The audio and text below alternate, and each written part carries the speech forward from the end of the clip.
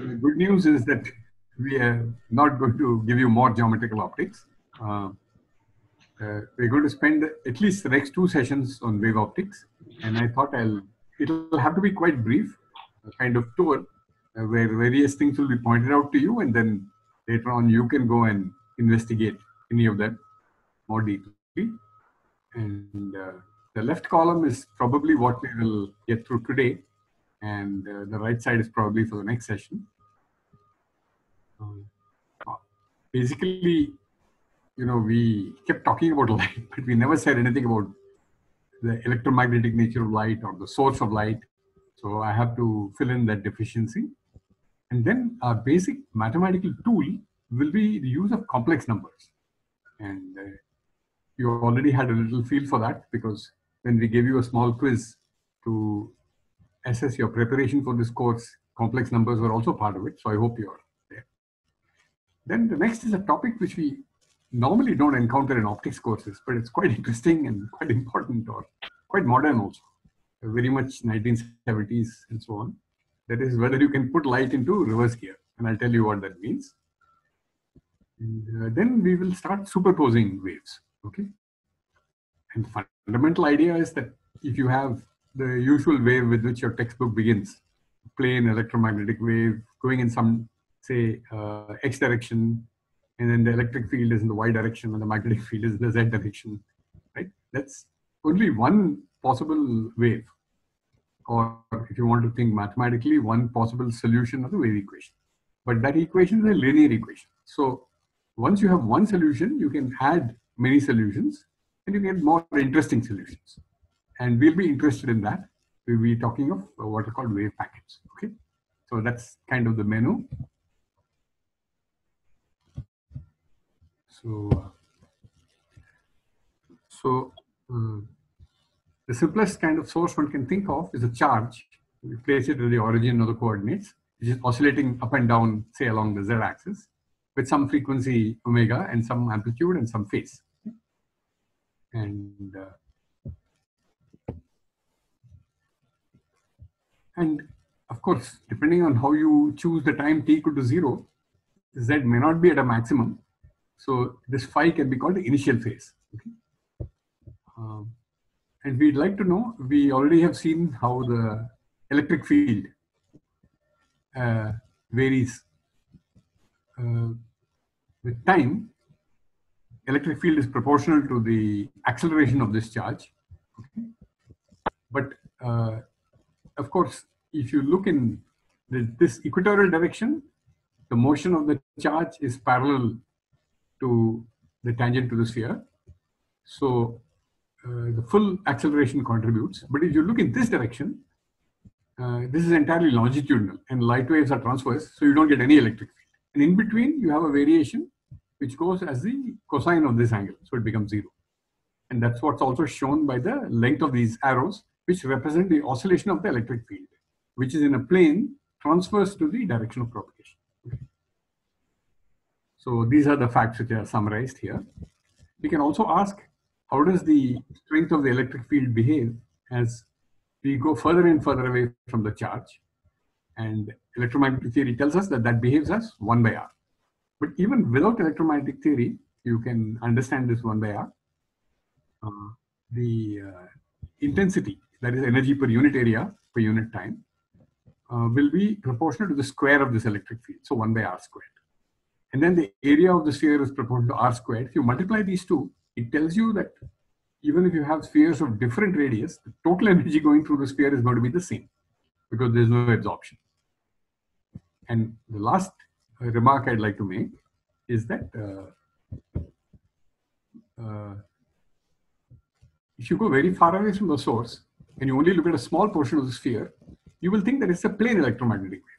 The strength will not fall off very much, right?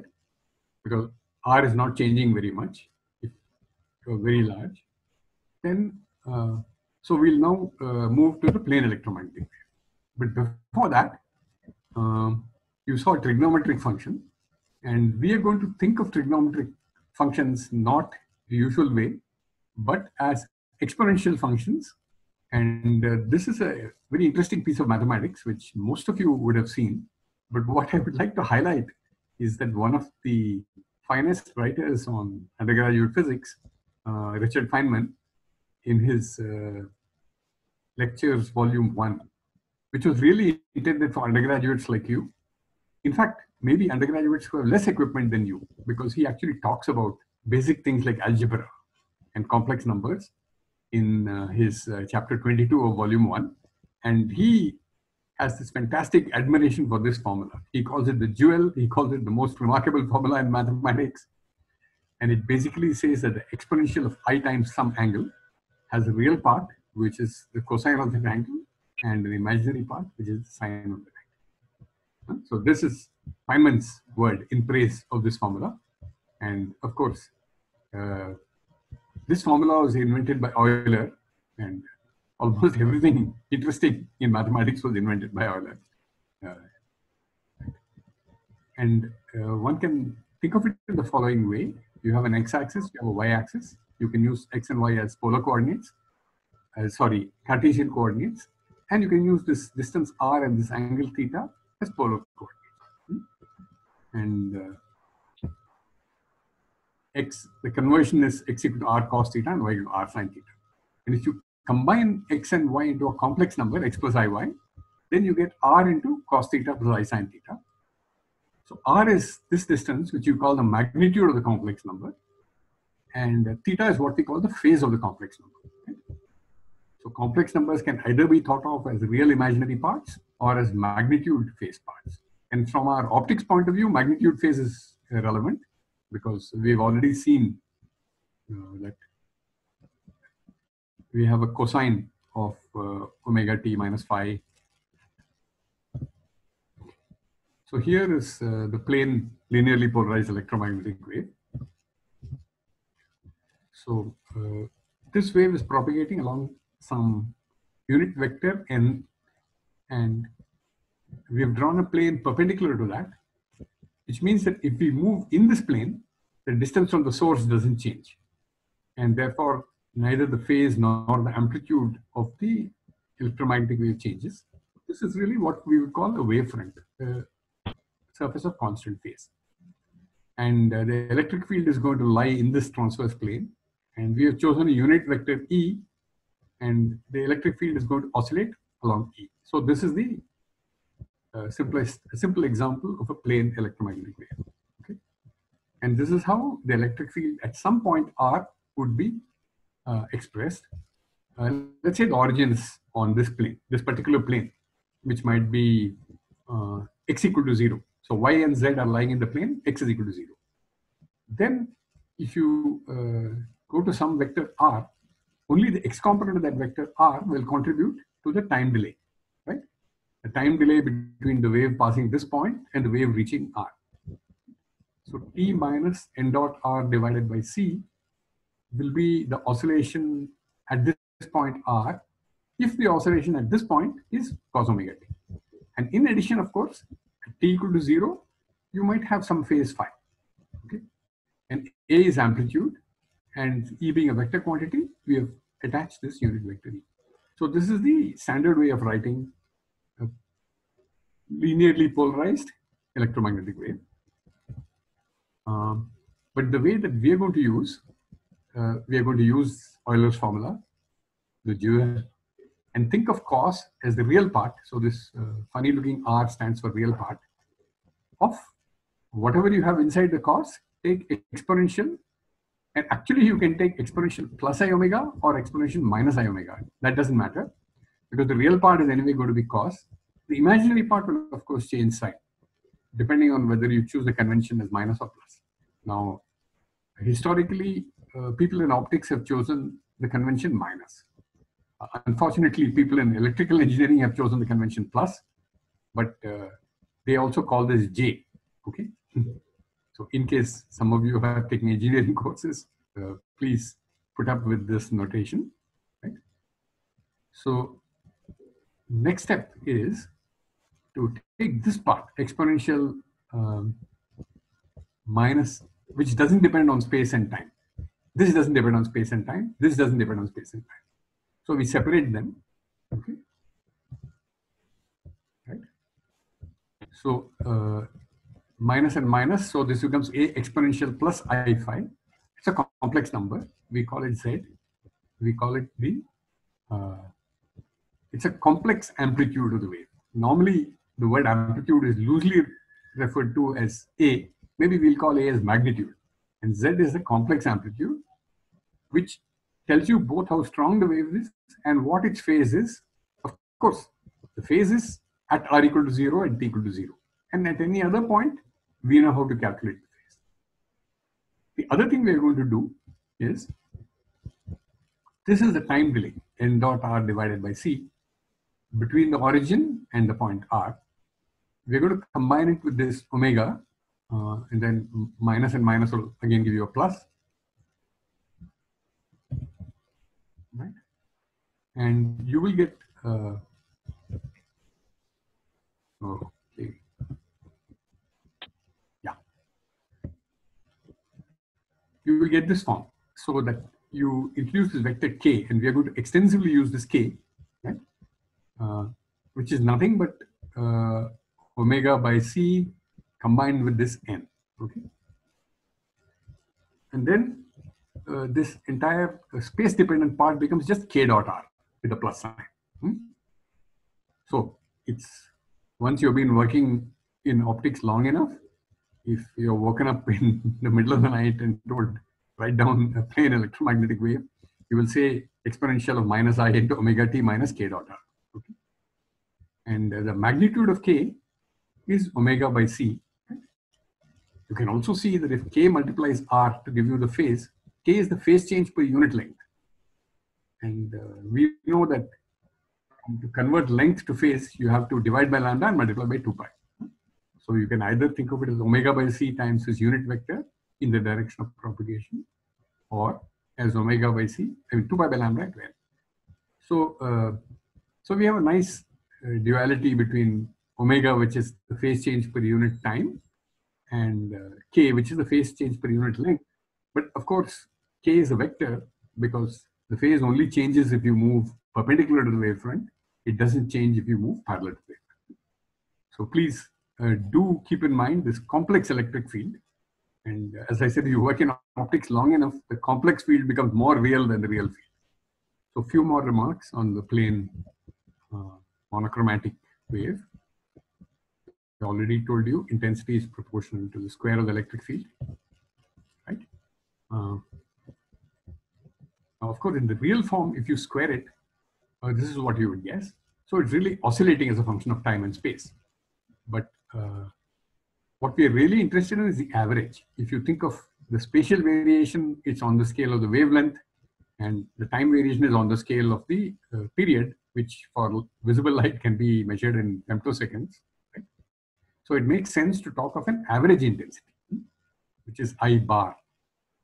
So if you just have call this angle theta, we square it, right? Cos square can also be written as half of 1 plus cos 2 theta. And then when you average, this cos averages to 0 and you get a squared by 2. So anyway, since we're only talking of proportionality, the average intensity is proportional to a squared. And since we are going to use complex amplitude z, we want to get rid of the phi.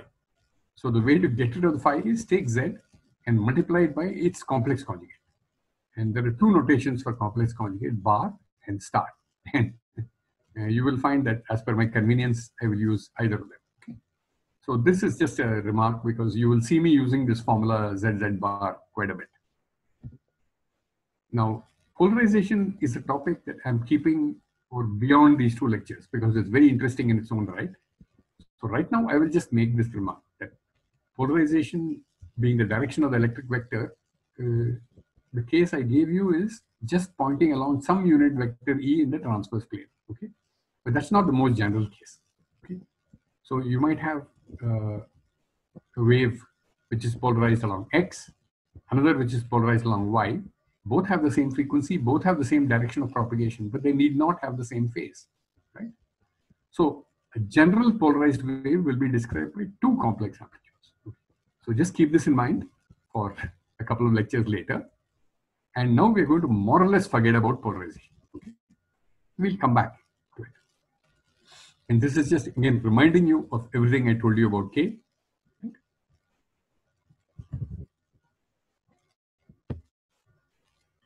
Now I want to come to a, uh, something to do with the physics of light and the nature of light. And this is uh, an observation.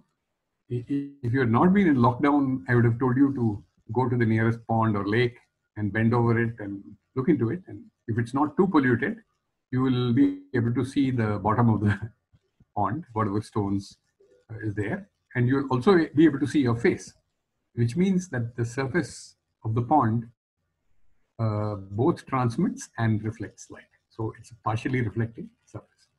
Uh, of course, during lockdown, you look out of your window, uh, the glass window usually, and uh, on the one hand, you will see outside, see this veranda and building down below.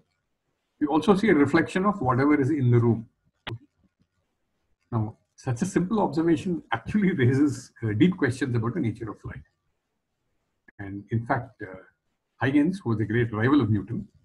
because uh, not just in optics, actually.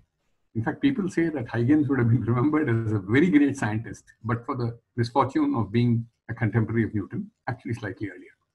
But he gave this powerful argument saying that if you have partial reflection, it's not difficult to understand for light waves. So the wave has an amplitude, which is a continuous variable, and intensity, which is a continuous variable.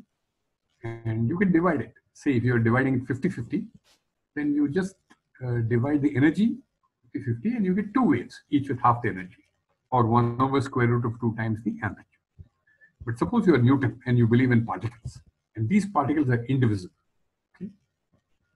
So individual uh, particle approaches the surface.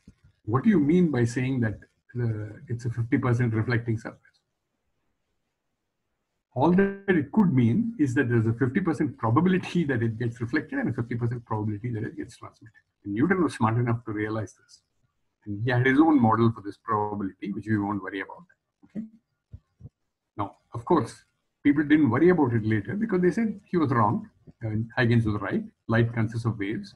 Any number of experiments prove it until the early 20th century when experiments came along on the photoelectric effect and uh, Einstein had the courage to say that yes, light does consist of individual particles. That's the only way you can understand the photoelectric effect. He wrote this paper when he was only 26 years old. It's very different from his papers on relativity and Brownian motion, which are completely masterly, where he has all the answers, basically. But in this paper, he says it's a very provisional viewpoint. I'm not sure how we will understand the wave properties, but we are forced to think of light in terms of particles. So we will come back to what happens to interference experiments when you deal with individual photons. Okay. But as of now, uh, we are forced to say that the absolute square, absolute because we are getting rid of the phase, of this complex amplitude is the probability. Now let's ask, is it just enough to have probabilities or do we need these complex amplitudes? You already see that we need them to understand interference. And usually discussions of interference start with Young's experiment. But I would like to choose a much later experiment, uh, 1890s, because uh, it's very nice. Uh, it's named after the two people who developed it. So here is the experiment. Start with the source. You want a plane wave. So either you take it to infinity, in which case you will have no light left, or you put a lens and convert this diverging spherical wavefront into a plane wave which then falls on a half silvered mirror. So exactly this 50-50, uh, it's called a beam splitter. So half the intensity goes this way, half the intensity goes that way. And this is made very symmetric. So that this uh, path is equal to this path, this path, yeah, this is equal to this, this is equal to this. And then the two, these are 100% reflecting mirrors. And this is a beam splitter which is identical to this, except its job is not to split the beams. Its job is to combine these two beams. How does that work? Uh, part of this beam goes through, so you get some complex number t multiplying the amplitude of this beam, and that is what goes here. Now, why am I saying t is a complex number? Because this may change the magnitude as well as the phase of the incoming wave. Okay. Uh, then this is also multiplied by some complex number r and goes to detector 2. But the same is true for the wave coming from below. So ultimately, detector 1 gets a combination of uh, this wave with the coefficient t and this wave with the coefficient r. And this one, of course, gets uh, the left-hand wave with the coefficient r and this one with the coefficient t. Okay? So this is also a beam combiner. It's not just a beam splitter. Mm -hmm. Now, uh, the real use of the Mach-Zehnder interferometer is to put something in one of the beams and see how it modifies the amplitude and phase of the beam. Okay? And that's why they invented it. But for the moment, let us not put this sample here. Okay. So then in a completely symmetric configuration, you can convince yourself that all the light will go to detector one. Why is that? This comes here, uh, you get some R, 100% T. Otherwise, you get T, 100% reflection, and then R. So if you've made everything symmetric, all the paths are equal and so on, the two waves which fall on detector one are completely in phase. There's no reason for them to have any phase difference and therefore you will get constructive interference in detector. Okay. Of course, the total energy is conserved. So you better get zero intensity in detector two. Now, how is that going to happen? Uh, this comes along, R, R again. So uh, the sample beam contributes R squared. And uh, the other reference beam, which is RB, the lower beam, contributes T t. so here you get r squared plus t squared. And that had better be zero, right? Because all the energy is gone here. And that's interesting. How can r squared plus t squared be zero? Only if they are complex numbers, right? So in a sense, this Mach-Zehnder interferometer forces you, if you believe in energy conservation, to uh, uh, think of reflection and transmission coefficients as complex numbers. Okay. Now, of course, if I now put in a piece of glass which creates a phase difference of 180 degrees, all the light will be switched to detector 2. Okay. Now, an obvious question to ask is what happens if one photon enters the system? Right? If you took the point of view that it either goes through this beam or goes through this beam, you'll be in trouble. Okay. Then how can they interfere? Okay. So the interesting experimental question is, will a device like this work even if you have single photons, okay? Uh, we'll come to the history later. Uh, and interestingly, you all heard the Mach number, right? Which is uh, the speed of an aircraft or a bullet or anything divided by the speed of sound.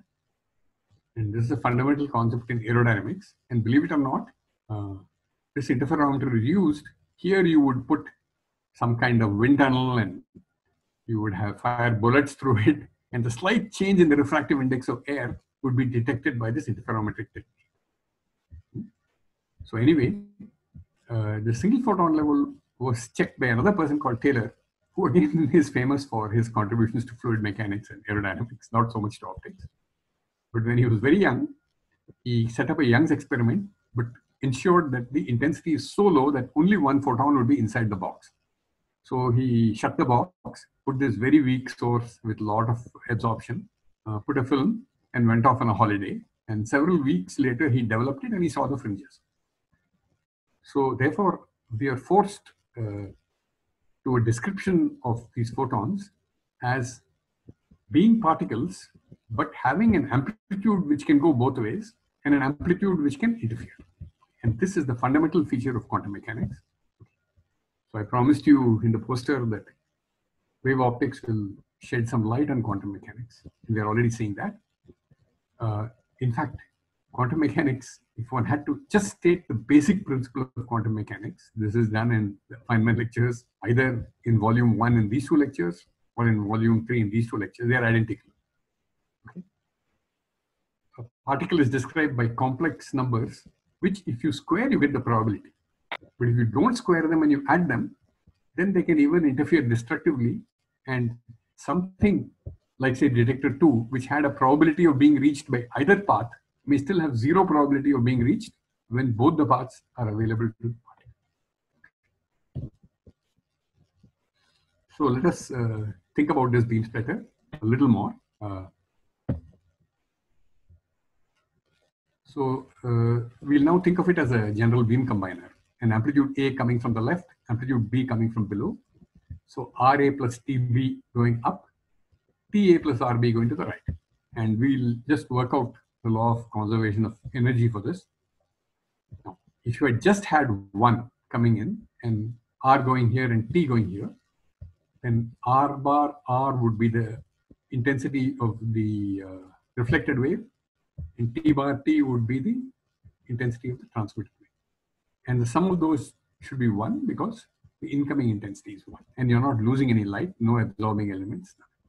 So that's the obvious part. But actually there's a deeper relationship between R and T, which you will get if you apply energy conservation to the most general case where A com comes from here and B comes from here. So let me do that. So total uh, intensity coming in is A bar A plus B bar B. Okay? From here and here. And what about what comes out? You take this complex number here, multiplied by its complex conjugate. Take this complex number and multiply it by its conjugate. Add these two, and that had better be equal to the left-hand side.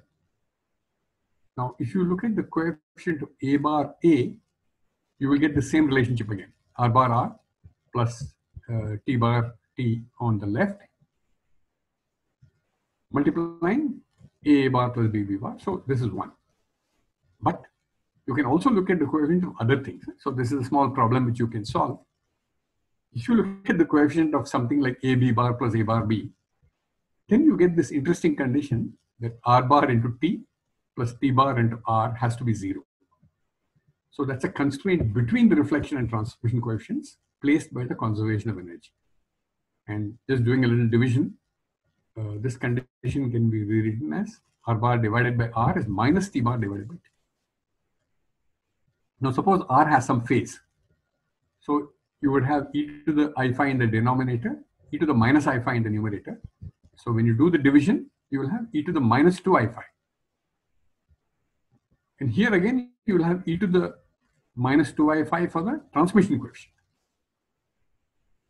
So it tells you that these two are related by a minus sign. Now, how is that possible?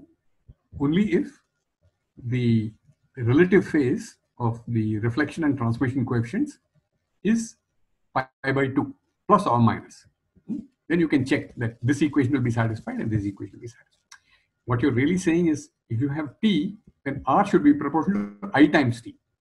So this equation will have a minus i and this equation will have a, a plus i. So this is interesting that the constraint of conservation of energy puts a powerful limitation on the uh, reflection and transmission coefficients of this beam splitter. But actually we can now make a very wild leap and say in quantum mechanics, you are now talking about conservation of probability. If various things can happen to your particle, the probability should add up to one. But if the probabilities are squares of complex numbers, some similar argument will apply. Hmm? So another connection with quantum mechanics. And uh, the name of this condition is based on the fact that if you represent these relations by matrices, which you can, you know, TA plus RB and RA plus TB can represent as a matrix. That's going to be the first problem assigned to you uh, after this lecture. And that matrix happens to be a particular kind of matrix called a unitary matrix, but that's for the problem session. Now, this is uh, an interferometer which is more famous than the Mach-Zehnder interferometer. It's called the Michelson interferometer. Okay. So Michelson was a stingy man. So he used only one beam splitter and used it both to divide the beam and to recombine the beam. So these mirrors were not at 45 degrees. They were placed in such a way that the reflected beam was sent back, this was sent back. And then, at least, of course, there's a bit of a problem with putting detectors in both these places because one of these is the source, okay? But if you ignore that problem for a moment, we can ask the following question. What happens to the concept of reversibility of light? Now, of course, we stated it for light rays. How does it apply to light waves? Okay. So one comes in, R goes to this mirror. Uh, of course, there is also some phase because of this distance, but we are going to assume that it's all very symmetric and you have exactly the same phase for this distance traveled. It's a symmetric adjustment of the Michelson interferometer. If you have ever had to do it, you know it's quite difficult.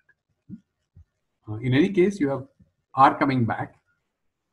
And now, of course, it gets transmitted and you get R times T. Now, if you follow the other wave, you get T, T coming back, now reflected. So you get 2 RT. Hmm? And uh, if you now look at uh, what happens to the other parts of this R, again reflected R squared, and this is T squared. In fact, we saw this in the Mach Zehnder, that one of the channels gets R squared plus T squared, and the other gets 2R. In fact, let's assume that we are dealing with uh, a 50-50 beam splitter. So the magnitude of R and the magnitude of T is 1 over square root of 2. Okay. So, and uh, the phases, of course, may differ, have to differ by 90 degrees. In any case, the magnitude of this is going to be 2 divided by 2, which is 1. So in the Michelson, what happens is you send in light from here, and in the perfectly symmetrical configuration, all the light goes back here. And we already saw if this is 1 over root, these two have opposite signs because the phases differ by pi by 2. So these two, half and half will cancel. We'll get nothing here. So it looks as if we are seeing a violation of the principle of reversibility of light. Right? The light comes in here, something complicated happens, but instead of coming out here, it comes back here. And uh, this is, I told you that we'll discuss how to put light in reverse gear. So we're first going to do it uh, uh, mathematically. I'm going to ask you to imagine that there is some new kind of mirror, not the one that Michelson used. And in fact, that mirror was only made in 1970s. If R falls on it, it sends back the complex conjugate of R. What the physical meaning of that is, we'll see. So be a little patient and let's just look at the mathematics. So R star comes here. If T goes here, T star comes here. So now what happens? T star gets uh, hit by R, RT star, and then R star gets hit by T. Right? So here you get RT star plus T R star.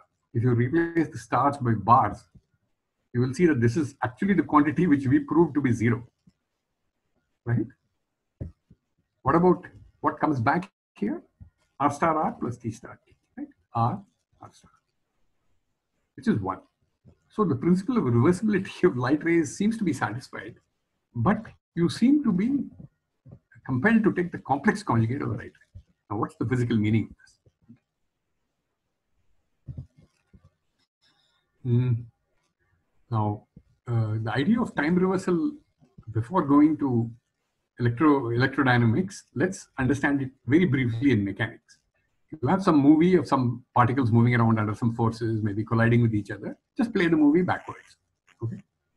And uh, if that still works, then you have a principle of reversibility in mechanics. Okay. So I have a little graph illustrating that. You have some particle, it's moving in one dimension. Y is the dimension along which the particle moves, t is time. So the particle starts from the origin at some negative value of time, takes off in the positive direction. Some force acts on it, pulls it back. And of course, it can keep going, but we'll stop the graph here. Now I'm going to reflect the graph in the uh, y-axis. So now you get this graph. So this is exactly like running the movie backwards, right? Because what is the final state here is the initial state here. And if you uh, take some point A on the original graph where the particle at some velocity, uh, at the point B, it'll have a reverse velocity. Slope is the opposite. Huh? Um, so that's what you expect if you run the movie backwards. Now, uh, if you want to think of this mathematically, uh, you want to make sure Newton's second law is obeyed for both these curves. In Newton's second law, uh, if it contains the velocity, you will be in trouble, okay? Because that'll have the opposite sign here and here. But if you have, say, a, a force like a restoring force or a gravitational force, it depends only on r, and then the acceleration, interestingly, has the same value here and here. You can check by taking this function and this function and differentiating both with respect to time. And at the two corresponding points, it'll have the same value. So actually in mechanics, uh, provided you don't have velocity dependent forces, okay, this works. Now what about electromagnets? So let's take our plane electromagnetic wave and change t to minus, minus t. The original wave was omega t minus k dot r minus phi. All I've done is change t to minus t. Okay, I've kept the electric field the same, direction same, everything. Now, since cos is an even function, I can rewrite it in this way, cos of omega t plus k dot r plus phi. Then in our complex notation, is the real part of a exponential minus i phi. Now, remember it was plus i phi earlier when we were, now it's minus i phi. And now you have minus i omega t as before. But now the sign of k dot r has changed. Now, actually, all this makes uh, physical sense also. Hmm? So k is reversed. That's very reasonable, right? If there's an electromagnetic wave propagating in some direction, when the movie is run in reverse, it'll be propagating in the reverse direction. Then this complex amplitude, which was earlier a exponential i phi, is now exponential minus i phi. So it's been changed to its complex conjugate.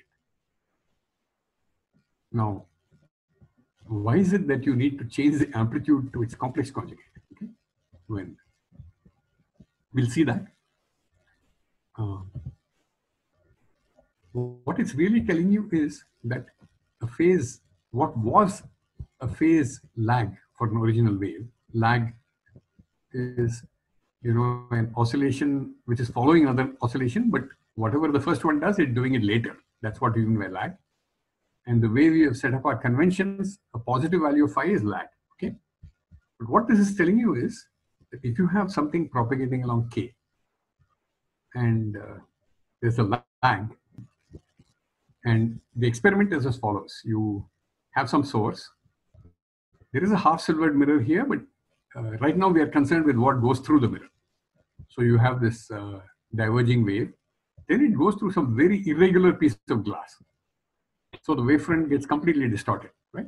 You have something, uh, got it right? Yeah, this is delayed because uh, it had to go move slower in the glass. Here the thickness of glass was less, so this went ahead.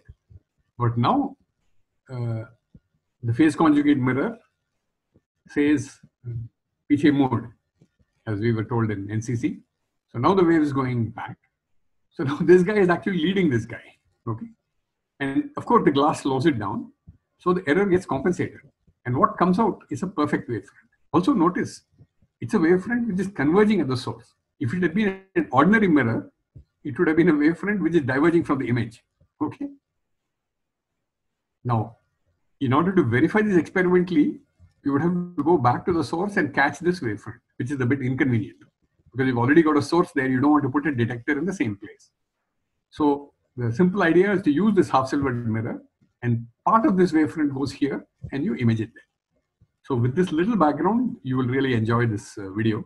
It's, it's, a very dramatic demonstration. Um, as I said, that was a bit of a digression. And now we will return to our main theme, which is combining different waves. Okay?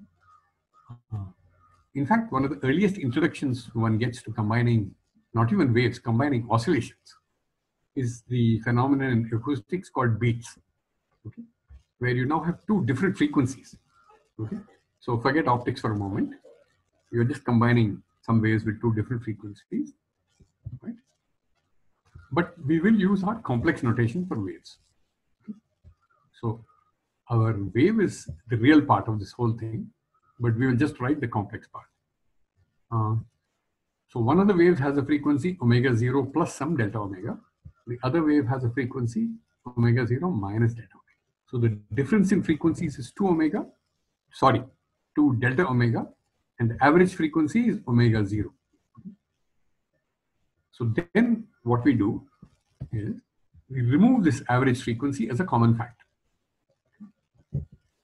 And then what you're left with inside the bracket is exponential minus i into some angle and exponential plus i into some angle. And using the magic formula, the imaginary parts cancel and you get twice the cosine of this angle. Okay. So this is what you get. So if you have this average frequency of omega zero, but then you combine two waves whose frequencies differ from it by delta omega on either direction, then you get back your original wave, but now it's multiplied by something else. Or in fact, the word used by electrical engineers is modulated. Right? And it's modulated by twice cos of a frequency which is half the difference of these two. Okay. So uh, yeah. So here is simple graph here. I think I choose omega 0 to be equal to 5 and delta omega to be equal to half and this total length is 20. So what you see is that you have this wave of the higher frequency, omega 0, and that gets multiplied by this red curve, right? In the red curve, by this is 0, so it goes both positive and negative, okay? So although this looks identical to this, it's really not identical. Here the maximum is in the center, here the ma max, ma negative maximum is in the center. That's because the modulation has changed sign, okay? However, if you look at the intensity, if you square it, then your period will be between this and this. Right? Intensity will be, if you look at the square, then this also gets squared. So that's the reason for the, you might, some of you might have worried that this frequency of modulation is delta omega. It should have been the difference frequency, which is twice delta omega. And the reason is that you see this difference frequency if you only look at the intensity. If you square it, then you get cos square of delta omega t, which contains a cos of twice delta omega into t. So just keep that in mind. Now, uh, this is, we are going to deal with more complicated cases, combining more frequencies. So therefore, we want some more general way of looking at this and a more intuitive way also, we don't want to do detailed calculations. So now the same thing, I'm going to show you in terms of these complex numbers. Uh, so this part, uh, let's not worry about for the moment. Okay? It's a common factor. We can put it in at the end. So this part, if you look at one of these terms, it's exponential minus i delta omega into t. Okay? And minus i corresponds to rotating in the uh, clockwise direction. So that's this. And this rotates in the anti-clockwise direction, positive sense. So really we are being asked to combine two vectors with, which, if you forget this factor for a moment, which are rotating in opposite directions. Of course, in addition, both the vectors are being rotated at this frequency, omega zero. So this whole diagram is being carried around like this.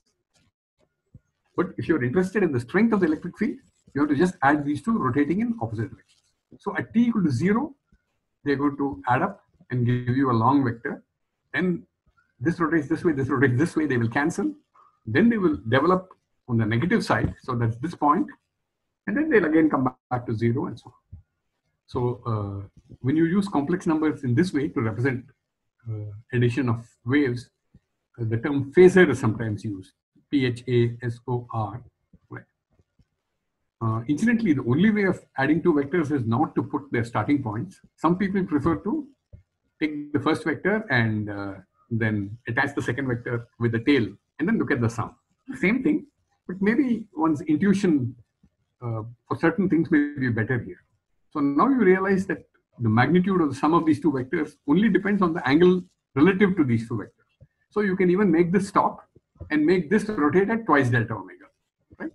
You can do that. So you will see more phasor diagrams, which is why I spent a little extra time on this one.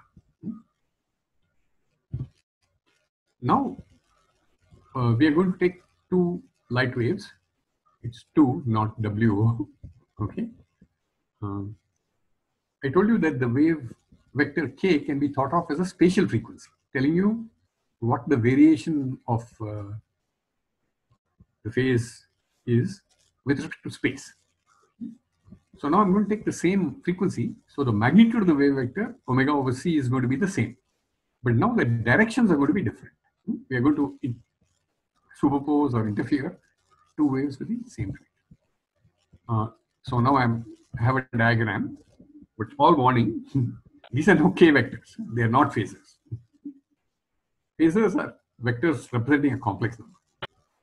Okay, so one wave is traveling like that, one wave is traveling like that. Now, if we, let's just do the same mathematics, right? K1 dot R plus K2 dot R, take out the common factor, which is the average. K1 plus K2 by 2 dot R. And where, what is K1 plus K2 by 2? Is this black vector here. And this is being modulated by uh, another wave whose wave vector is K1 minus K2.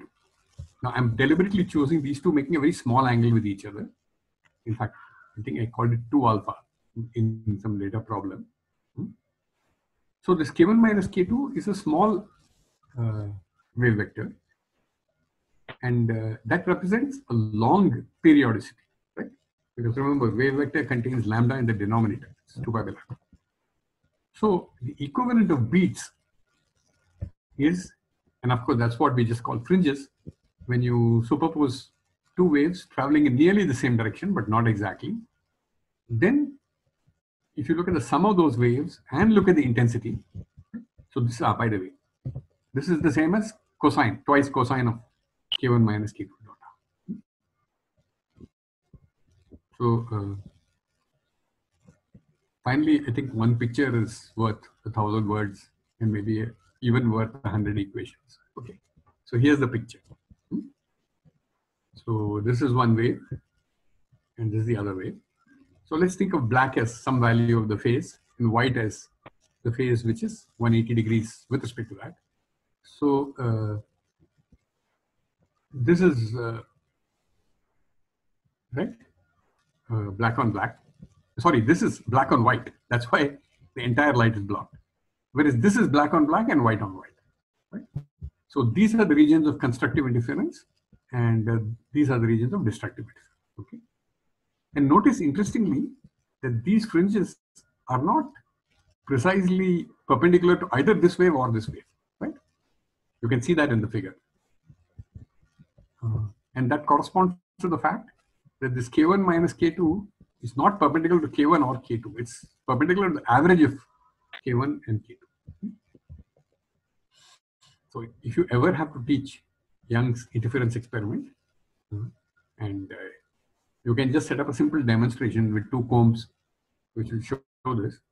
And really this, you think of this as what happens on the screen in Young's interference experiment. So the source is very far away, so it's emitting a plane wave almost, one of the source, and the other source is emitting another plane wave, and there's a small angle between them. So that also tells you that this derivation we usually go through uh, some x d by capital D and all is really bringing in a lot of irrelevant things. The only relevant thing is what is the wavelength and what is the angle between these two waves at the screen. Uh, could resist another digression, small digression when you make fringes with uh, two combs or two layers of fabric or something, these are called moire patterns. And once you know how to look for moire patterns, actually moire is the way we pronounce it in English. I think the French who invented this form of silk uh, call it moire or something. And the way this is made is by you fold the cloth into two layers and then you roll it so the two layers stick to each other. And of course, they will never be perfectly aligned, so you get this beautiful effect. this is considered very expensive. So, but however, you can just take any synthetic fabric, synthetic because the spacing tends to be a little more uniform there, and just put two la layers on top of each other, and look through it, or just put two wire mesh or combs. So what I showed you on the previous uh, uh, picture is just a moire pattern. Okay. Now, uh, what we have dealt with so far is combining two frequencies or two wave vectors and getting a modulated wave. Um, now, uh, once you, you go to two, you would like to go to larger numbers, right? And there's a good reason for this. See, a plane monochromatic wave is fine as a mathematical concept, but physically it extends infinitely in space and time. No limitation on R and so on, and T. And that's not very realistic but it's still useful because we can interfere these waves and we can make more realistic wave packets which have finite extent in space and finite extent in time. Okay, and we are just going to do that in the last part of the lecture. We've already done a little bit of that. We saw that by making superposing just two waves, you could get beats or you could get fringes. So maybe if you superpose more waves, in fact, a continuous family of waves, then you might get a situation where you get one beat or one fringe, and then after that, the amplitude falls, falls. And uh, like I told you right in the beginning of this lecture, uh, this is allowed. If you have some solutions to whatever equations are satisfied by electromagnetic waves, provided those equations are linear, you can add solutions and you can get more interesting solutions. And you need not even add them with equal uh, amplitudes. You can. So we are now going to construct uh, one wave packet in time and one wave packet in space to round off this lecture. So earlier we had, so now the average frequency is still being called omega zero. Now earlier we just had omega zero plus delta omega and omega zero minus delta omega. But now we want omega zero plus something, that something I'm calling omega. So this omega is really small, which varies all the way from minus delta omega to plus delta. And we want to add all these waves. Now adding an infinite number of objects is uh, fortunately something we all know. It's called integration. Okay. Uh, so this is the common factor. So you have omega zero plus omega. Omega is a frequency offset from the average frequency, and that offset goes from minus delta omega to plus delta omega. Now, purely for convenience, I have put a 2 delta omega here. Uh, the reason is, first let us look at this when t is equal to 0. At 0 time, this is just equal to 1. So uh, the integral is just equal to twice delta omega, which cancels this twice delta omega. So this is just a normalization factor to ensure that at t equal to 0, you have a unit amplitude wave. But at later time, remember, you will have this wave which is going at a high frequency, but it will be modulated by this factor. Now, it would really be an insult to all of you for me to sit down and do this integral? So I'll just tell you what the answer is. Yeah. You can do this integral. Of course, I have combined this factor also. Um, everything nicely cancels and all that. And you get sine of delta omega t divided by delta omega into t. So this function is called, uh, sometimes called the sinc function, S-I-N-C. We'll just think of it as sine x by x. And x is now related to delta omega. Delta omega is no longer the uh, separation of two frequencies. It's a measure of a range going all the way from minus delta omega to plus delta omega of infinite number of frequencies which are being combined to make this wave packet. So uh, we all know what this function looks like. Yeah. Uh, incidentally, at t equal to zero, this is zero, but this is also zero, so the limit is one. Okay. And then when t is equal to pi, it falls to uh, sorry delta omega into t is equal to pi, it uh, falls to zero, and then it changes sign. Okay. So let me show you a small plot. So this plot I have, I, I think I took the same values of omega 0 and delta omega as in the previous plot, okay? Uh, but I have taken the real part now. So this has been replaced by cos omega 0 t. This is already real. So this is the underlying high frequency wave, and this is the modulation. And now sin x by x will keep having oscillations, but it'll get smaller and smaller. So we've now made a finite wave packet not strictly finite because, but it is certainly not periodic. And I want you to contrast this with the previous uh, thing where we had only two waves being combined. Right? Then you keep getting these beats forever. Now, uh, the idea was to also understand this in terms of phasors. Now, I told you that in this integral, we are uh, combining an infinite number of waves, but infinity being a large number, uh, I have just drawn seven complex numbers. At t equal to zero, they are all in phase. Okay. But uh, because they come with different values of omega, as you go to later times, they get out of phase. So once they are all in phase, you can either combine them this way uh, or you can combine them this way. But basically, they all add up and give you one. Hmm? Now let's uh, go to this point, right, where this sine function becomes zero or sinc function becomes zero. That is when omega, delta omega into t is equal to pi. Hmm? So that means now if you took at the two extreme waves, uh, one of them will have a phase of plus pi, one will have a phase of minus pi, and all the others will have phases in between. So the phases range over a full angle of 2 pi. Okay. So if you want to add the phases this way, this is how they add up. And they cancel and give you 0. And uh, if you want to add them up this way, again, head to tail, again, they go around in a circle and it is 0. Hmm? Of course, it doesn't stop there. It becomes negative, right? If I increase t still further, what happens? What happens now is in the circle, what happens is the circle doesn't close. This moves somewhere here, this moves somewhere here, and then you have don't have perfect cancellation. Likewise, in these phasors, you will find if you keep moving them further, see, as t increases, the angle between two of them increases. So if you keep increasing the angle further, you will find a pileup of vectors on this side they cannot all point in this direction right? because their frequencies are different. So you get some partial cancellation. That's how you explain negative. And that's how you explain all these oscillations. So you may wonder why am I giving you all these rough qualitative pictures when we already have a quantitative expression here. The answer is that it contributes to physical intuition.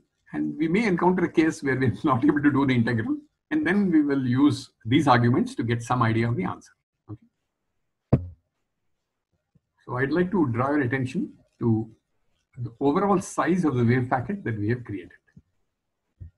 Basically, it goes from delta omega t equal to minus pi to delta omega t equals plus pi.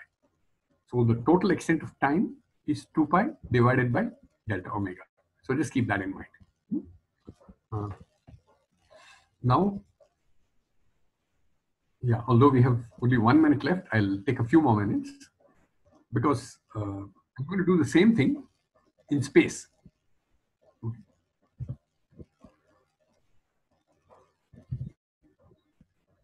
So earlier we had two wave vectors, k1 and k2, uh, which had a common, they were all pointing along the x-axis, but their y components uh, had opposite sign. Right? That's what we had last time. And now I'm trying to see this y component has all values between somewhere negative value and some positive value. So the mathematical expression for this, so this is the kind of wave packet which you would get if you were not doing a two slit experiment. But suppose you were doing a single slit experiment. Okay? So the single slit is again very far away and uh, every point on the single slit is contributing to you. So you can think of that point as contributing a spherical wave. You know, we're being inspired by Mr. Huygens. We are so far away that that spherical wave is like a plane wave. So we are superposing plane waves in all directions which point towards the single slit. Okay. So uh, if you remember the previous expression, this is quite analogous, right? Now the y component of the wave vector. Now, first of all, you may say, why aren't you worrying about x component of the wave vector? Uh, answer is, I'm looking at the plane x equal to zero we'll go away from the plane x equal to 0 later. Uh, that's quite an interesting job. But at x equal to 0, you don't worry about kx times x is 0. So you have ky times y, but ky is k sine theta, k being the magnitude, omega by c or 2 pi by lambda, and sine theta is being approximated by theta. Uh, you remember our paraxial optics? Same thing. And now we're going to superpose all values of theta from minus alpha to plus alpha. And you have 1 over 2 alpha for the same reasons. And I have omitted uh, the modulation part. Okay. Uh, in this case, the average value of the pi component is 0. Okay. So this is simply going to become sine alpha y by alpha y by the same logic that we got earlier. So now we have multiple wave vectors arriving at some plane. Uh, and creating finite wave packet in Y. And uh, borrowing the previous result, right? the size is 2 pi by k times alpha. Now, 2 pi by k happens to be lambda, but lambda divided by alpha. Now, uh, if you remember your single slit diffraction, this is exactly the formula you have for the single slit diffraction pattern. Okay, but I'm not going to pursue those textbook topics, right? Uh, and the mathematical form of the single slit diffraction is also of the form sine theta divided by theta. That's the illumination in this plane. So though I've shown all the waves arriving at one point, they're not really arriving at one point. Right? Interfere constructively at this point, and as I move up and down, they start interfering destructively as I increase y, and therefore you get this pattern. But I would like to uh, write this relationship. The size of the wave packet in y is delta y. So delta y multiplied by alpha uh, and divided by lambda is 1. So why am I writing like this? The reason is I want to do something uh, strange. I want to multiply both sides by Planck's constant. Okay. So now delta y, alpha remains where it is. And then you have h over lambda. And the right hand side, you have Planck's constant. Now what is h over lambda? Um, if you have particles with a wavelength lambda, then Mr. de Broglie tells you that the momentum is p. And if you take the momentum p and multiply it by sine alpha, it will give you the y component of momentum. So therefore, delta y into the spread in the y component of momentum is Planck's constant. So this is a connection with quantum mechanics, if you like. And uh, I'm not doing something very original here. This is the argument used by Heisenberg to explain his uncertainty principle. Except he did one, one more clever thing. He gave the uncertainty principle for an electron, but he imagined this electron was being looked at by a microscope. And at the focus of a microscope, this is pretty much the situation that you have waves arriving from all parts of the objective lens and they create this kind of pattern. Um, so I'll actually stop here hmm? uh, and uh, take questions. We've overshot by a little bit. Thank you, Professor Rajaram, for a wonderful lecture. Good morning, sir. Yes. Uh, uh, sir, I wanted to ask a question that um, in the Mach Zehnder experiment with uh, one photon only, uh, it's uh, almost analogous to the Young's double slit experiment that uh, a photon has two possible paths for passing to the uh, uh, uh, photon wave have two possible paths to go into like it can be reflected or it can be transmitted at the splitter uh, sir uh, so when uh, uh, the when one of the photons get uh, 100% reflected at the second stop then isn't that uh, 100% reflection an uh, instance of observation that will break the wave nature of photon Uh, okay. So uh, that's that is uh, one of the first things that a good course on quantum mechanics uh, uh, addresses, and the Feynman lectures, volume three, one has a discussion, and I think you have summarized the crucial point that if you want to see the interference effect, like let us say you have a Mach Zehnder, let's go to the Mach Zehnder interferometer. No, bit further down.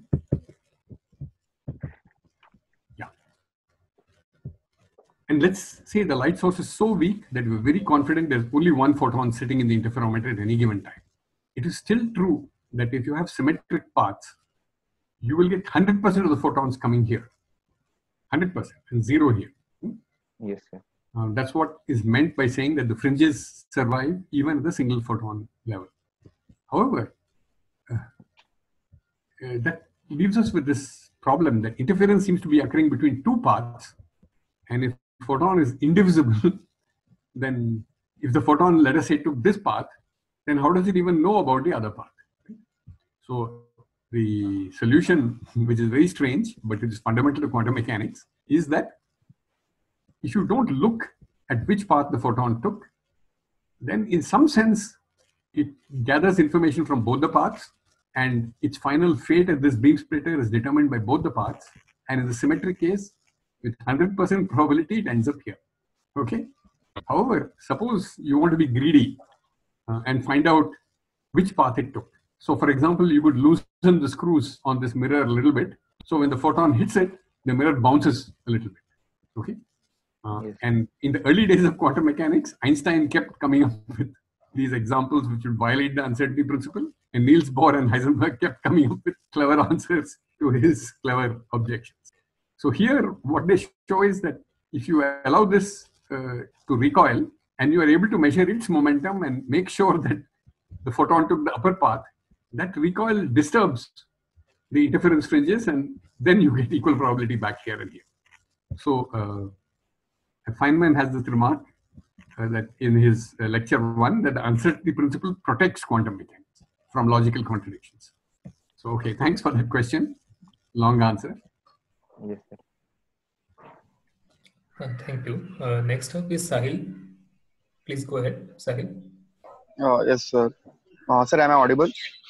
Yes. Yes, you Yeah. So, sir, my question is uh, kind of really hypothetical, but uh, I think it's kind of important. What if uh, we don't have the existence of imaginary numbers? So, can we see the uh, electromagnetic equations the way we are seeing it right now, and then without the use of uh, imaginary numbers? The way we used to solve the problems, the way we use them in optics or in any kind of uh, electrostatics or electrodynamics, can we still do them without the use of imaginary numbers?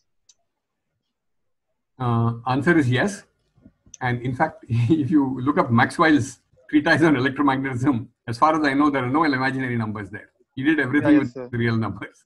Yeah, yes. So, as far as if you're doing wave optics alone, imaginary numbers are a luxury. They make life more comfortable, and in the end, you take the real part.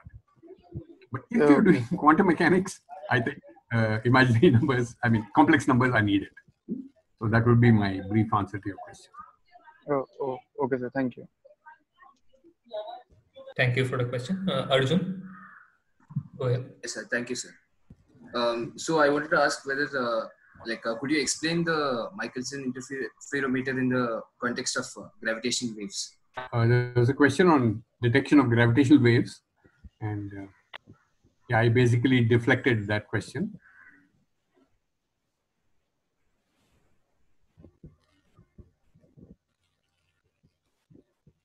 Are, are we taking more questions? I don't see any hands uh, raised raised uh, right now. If there are any more questions, please use the raise hand button. Yeah, we give a little time, and uh, at least for the students who are registered for the course, they will have another opportunity uh, when we resume, because we will resume in a common session.